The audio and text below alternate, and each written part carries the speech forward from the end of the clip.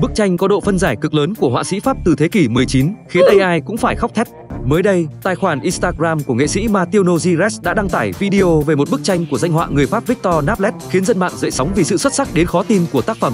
Đoạn video đã zoom cận cảnh và bức tranh để giúp người xem hiểu được tác giả đã tốn nhiều công sức đến mức nào mới có thể tạo ra nó. Được biết, bức tranh có tên là khung cảnh Paris nhìn từ khinh khí cầu, vẽ lại khung cảnh thủ đô Paris hoa lệ nhìn từ trên cao. Điều làm nó trở nên đặc biệt ấn tượng chính là sự tỉ mỉ đến kinh ngạc của người nghệ sĩ trong việc mô tả từng ô cửa sổ tí hon, từng cái nóc nhà, cho đến tỷ lệ của các ngôi nhà cũng được tính toán rất cẩn thận để tạo ra một tác phẩm thực sự hoàn hảo. Bức tranh hiện được trưng bày ở bảo tàng Orsay ở thủ đô Paris, được vẽ với kích thước rất lớn 4m chiều rộng và 7,1m chiều dài. Nếu không nói rõ đây là một bức tranh, nhiều người sẽ lầm tưởng nó được chụp bằng một chiếc máy ảnh kỹ thuật số với độ phân giải cực lớn.